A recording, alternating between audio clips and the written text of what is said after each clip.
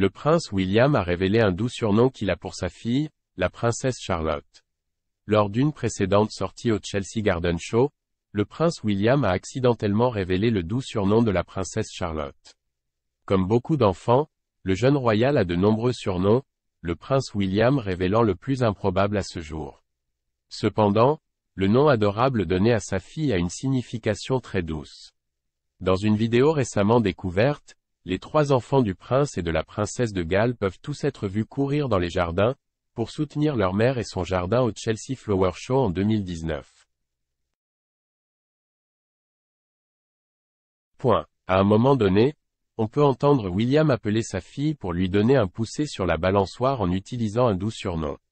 William appelle Mignonnette, qui, en français, signifierait mignon ou petit, doux et délicat. Selon les définitions plus anciennes du mot, il peut aussi signifier gentil ou doux en français. Lors d'un voyage officiel en Irlande en 2019, la princesse Kate a révélé un surnom plus traditionnel qu'elle utilise pour sa fille. Point. Kate a rencontré une autre maman nommée Laura Anne lors de la visite, la maman écrivant sur son Instagram que la duchesse de Cambridge de l'époque lui avait révélé le surnom de Charlotte dans leur conversation.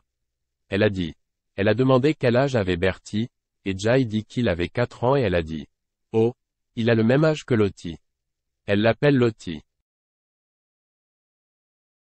En 2018, le Daily Mail a également rapporté que Kate se référait souvent à sa fille comme Popeye. Charlotte n'est pas la seule des trois enfants à avoir des surnoms, le prince Louis aurait été appelé Loulou par ses frères et sœurs.